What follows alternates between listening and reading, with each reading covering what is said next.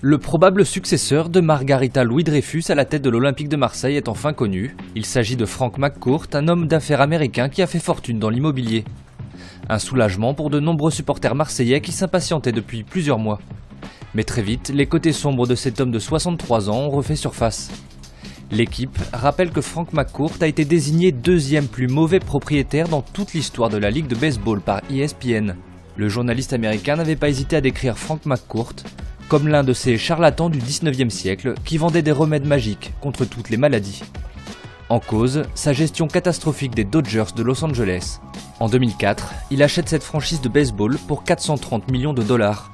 Mais très vite, il mêle vie professionnelle et vie familiale, il nomme sa femme présidente de la franchise, il est aussi accusé d'avoir pioché dans les caisses de l'équipe pour soutenir son train de vie et celui de sa famille.